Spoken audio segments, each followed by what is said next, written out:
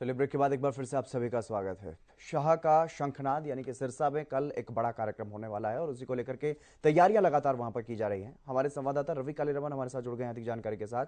रवि क्या कुछ ताज़ा जानकारी है फ़िलहाल? क्योंकि लगातार बड़े स्तर पर वहाँ पर तैयारियाँ की जा रही है अमित शाह की रैली को लेकर।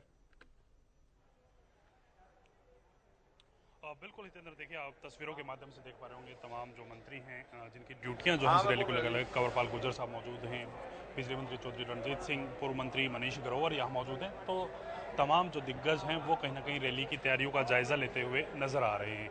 किस प्रकार से ये पूरी रैली रहने वाली है, किस प्रकार की व्यवस्था यहाँ होनी चाहिए, तमाम अधिकारियों को दिशा निर्देश भी यहाँ देते हुए नज़र आएँगे। और इसके साथ साथ अगर बात की जाए तो केंद्रीय गृह मंत्री अमित शाह का शंखनाथ जो है वो हरियाणा की सिरसा से शुरू होने वाला है। कहीं ना कहीं 2000 मिशन 2024 को लेकर तमाम जो दिग्गज हैं यहाँ जुटेंगे। और केंद्रीय गृह मंत्री अमित शाह पिछले नौ साल की कार्यकाल को किस प्रकार से देखते हैं, किस प्रकार से विकास कार्य प्रदेश में और देश में हुए हैं, उनकी उनकी तमाम जानकारी देते हुए सिरसा के लोगों को यहाँ संबोधित करते हुए नज़र आएँगे।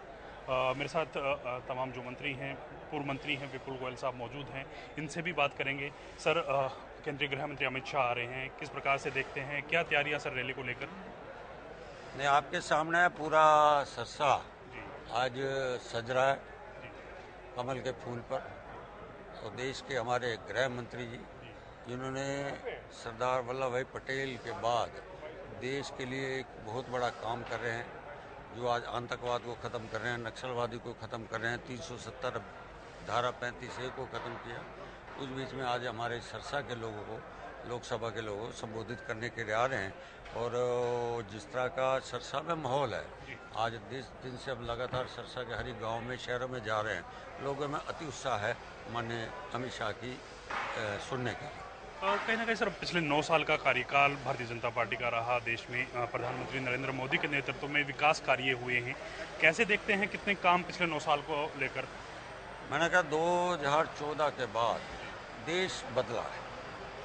देश के लोगों का, भारतीय जनता पार्टी के हमारे नेता, वर्ल्ड के नेता, श्री नरेंद्र मोदी जी की जो वर्किंग है, उन पर विश्वास बढ़ा है। क्योंकि जिस तरह मोदी जी ने पूरे संसार में भारत का नाम ऊँचा किया है।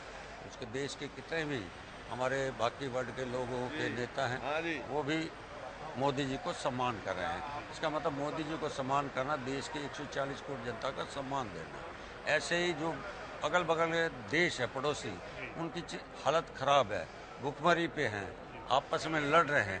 आज भारत आर्थिक स्टेज में आगे बढ़ चुका है। आज लोकल फॉर वोकल में आगे बढ़ चुका है। आज मैं कह सकता हूँ रोड चारों तरफ़ देश के अंदर बन रहे हैं इंफ्रास्ट्रक्चर बन रहे हैं।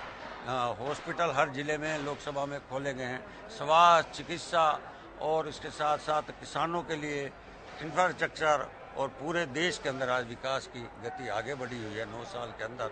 इसलिए जो पिछले मनमोहन सिंह के टाइम में करप्शन होता था, भ्रष्टाचार होता था, आज भ्रष्टाचार मुक्त पूरा देश है और देश की 140 करोड़ जनता आदमी मोदी जी पे विश्वास करती है।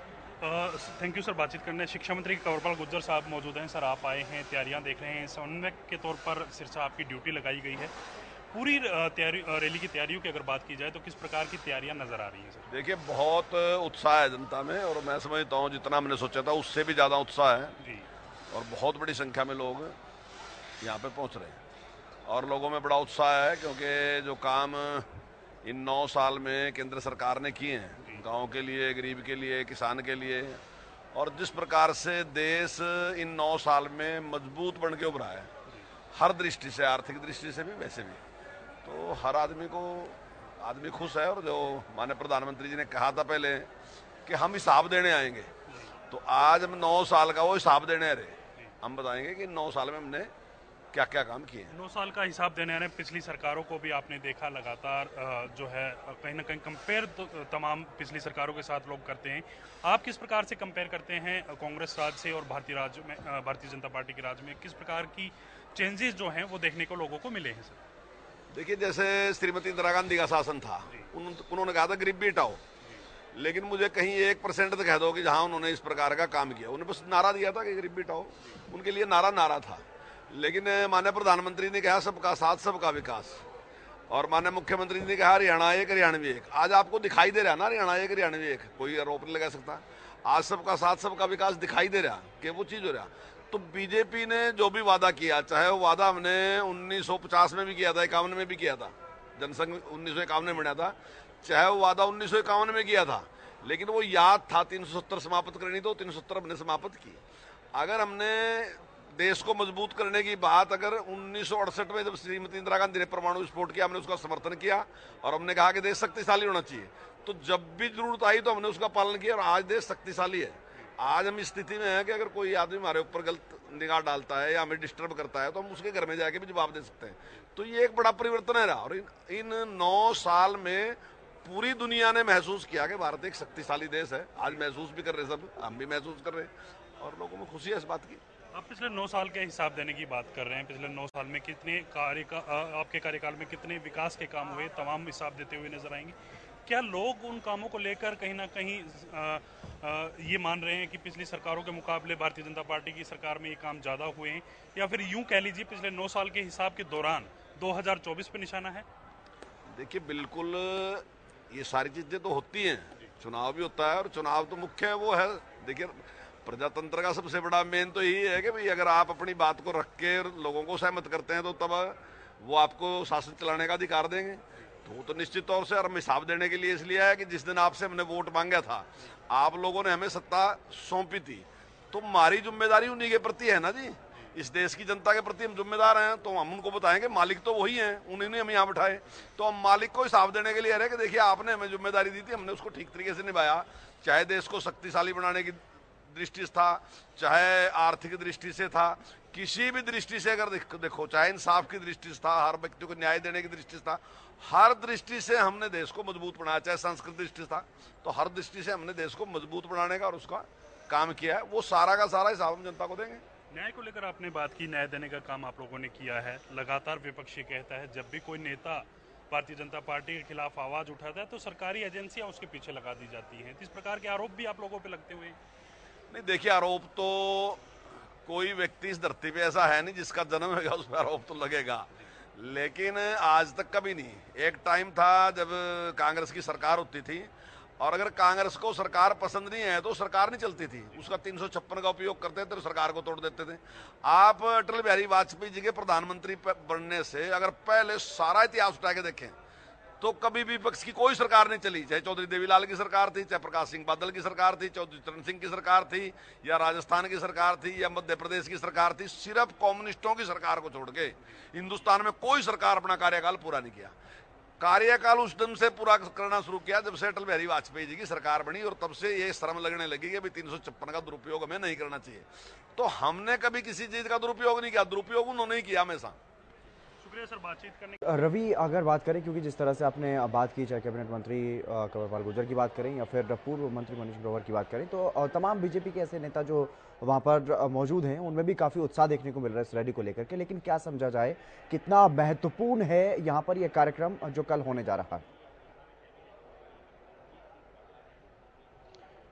बिल्कुल हितेंद्र देखिए महत्वपूर्ण बिल्कुल बड़ी रैली है और कहीं ना कहीं केंद्रीय गृह मंत्री अमित शाह यहाँ इस रैली को संबोधित करने वाले हैं। सुरक्षा के लिहाज से भी तमाम जो तैयारियाँ हैं वो लगभग पूरी कर ली गई और इसके साथ साथ अगर बात की जाए आने वाले समय में किस प्रकार से तमाम जो बातें हैं वो बताई जाएँगी किस प्रकार से भारतीय राज जनता पार्टी का जो कार्यकाल रहा है पिछले नौ साल का वो तमाम जो बातें यहाँ बताते हुए नज़र आएँगे और कहीं ना कहीं 2024 के लिए ये काफ, काफ़ी अहम जो है वो रैली मानी जा रही है।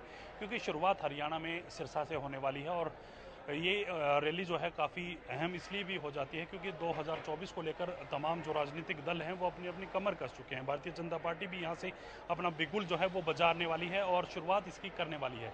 2024 को लेकर किन किन मुद्दों को लेकर जनता के बीच जाना है, किस प्रकार से पिछले नौ साल का कार्यकाल रहा है, वो तमाम चीज़ें यहाँ बताई जाएँगी। और कहीं ना कहीं जो आने वाला एक साल जो बचा है चुनाव को लेकर, उसमें क्या कुछ रूपरेखा सरकार की रहने वाली है, किस प्रकार से तमाम जो लोग हैं चाहे हम केंद्र की सरकार की बात करें या फिर चाहे हरियाणा के लोगों की बात करें तो तमाम जो लोग हैं केंद्र में और हरियाणा में किस प्रकार से काम रहने वाले हैं सरकारों के, क्योंकि देखिए, साढ़े आठ साल के आसपास जो है हरियाणा सरकार भी हो, को भी जो है प्रदेश में राज करते हुए हो गया है और कहीं ना कहीं आने वाला जो डेढ़ साल विधानसभा चुनाव को लेकर, क्योंकि 2024 में विधानसभा चुनाव भी होने हैं हरियाणा में तो उसको लेकर भी काफ़ी अहम जो है वो रैली मानी जा रही है। आने वाले समय में किस प्रकार से कौन सी ऐसी चीज़ें हैं, कौन सी ऐसी डिमांड्स जो हैं वो स्थानीय जो लोग हैं वो रखते हैं तो कहीं ना कहीं उन डिमांड्स को भी पूरा करने का प्रयास इस रैली के बाद किया जाएगा। जी। क्या कोई बड़ी घोषणा भी यहाँ पर कर सकते हैं केंद्रीय गृह मंत्री? बिल्कुल हितेंद्र देखिए, कहीं ना कहीं जिस प्रकार से डिमांड्स की बात की जाए तो कौन कौन सी ऐसी डिमांड सिरसवासियों की रहने वाली है तो उसको लेकर कहीं ना कहीं बात कर सकते हैं। और कहीं ना कहीं अगर अलग जो कहीं ना कहीं घोषणा की अगर आप बात जिस प्रकार से कर रहे हैं तो घोषणा निश्चित तौर पर कोई ना कोई बड़े बड़ी सौगात सिरसा को यहाँ केंद्रीय गृह मंत्री अमित शाह देते हुए नज़र आ सकते हैं। क्योंकि लगातार वो जहाँ भी जाते हैं, इस प्रकार की जो बड़ी रैलियाँ होती हैं तो कहीं ना कहीं उनमें सौगात जो है क्षेत्र के लोगों को ज़रूर मिलती है। तो कहीं ना कहीं हरियाणा में आ रहे हैं। 2024 मिशन 2024 को लेकर कहीं ना कहीं शुरुआत हरियाणा के सिरसा से होने वाली है। तो तमाम जो क्षेत्रीय जो लोग हैं, यहाँ के जो तमाम जो नेता हैं, वो कहीं ना कहीं पसीना जो है इस रैली को लेकर बहाते हुए नज़र आ रहे हैं। ज़्यादा से ज़्यादा लोग यहाँ पहुँचे। ये रैली को सफल बनाने के लिए तमाम अपने अपने तरीके से तमाम जो लोग हैं, वो जुटे हुए हैं।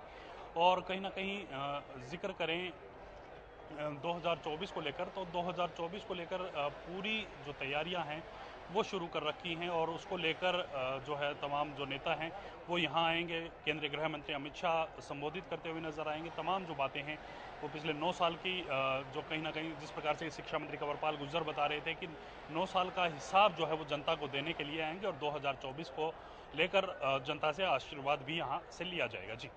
चलिए, बहुत शुक्रिया रवि, तमाम जानकारी देने के लिए। तो सिरसा में एक बड़ा कार्यक्रम भारतीय जनता पार्टी की तरफ़ से शाह का शंखनाथ यानी कि मिशन 2024 को लेकर के तैयारियाँ लगभग पूरी कर ली गई हैं। कल एक बड़ी रैली होगी। केंद्रीय गृह मंत्री अमित शाह यहाँ पर पहुँचेंगे